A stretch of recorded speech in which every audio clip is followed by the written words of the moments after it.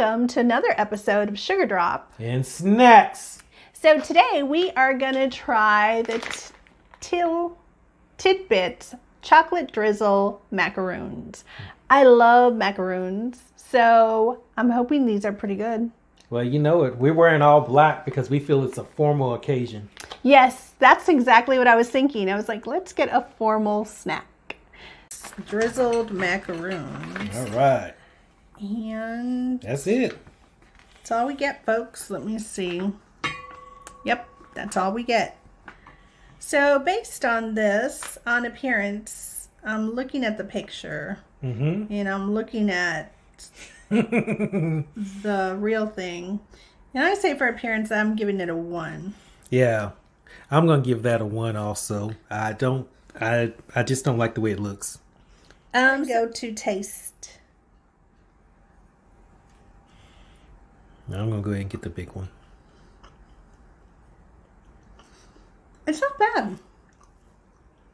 I say I'm giving this a three. Because I like that coconut flavor that you get with the chocolate.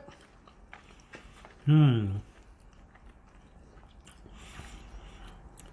It tastes better than it looks. So I'm giving this a three. I think this is pretty good. I really love coconut, so I think this is good.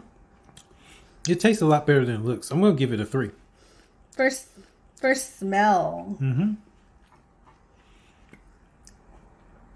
Hmm, you can really smell the chocolate, Coconut. the coconut, but I really smell the chocolate. Like I can really smell the chocolate.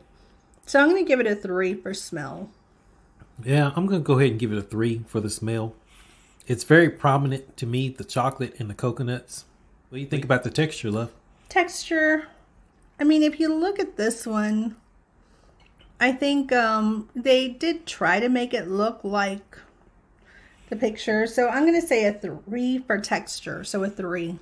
I'm gonna give it a two. What do you think about the mojo, honey? Mojo, I am going to go ahead and just do a two. Yeah. I'm gonna say for the mojo, this is a one for me. That's our review of the macaroons. And remember to like and subscribe. And we appreciate you watching our videos. Please share them. And until next time, remember to Bring the sugar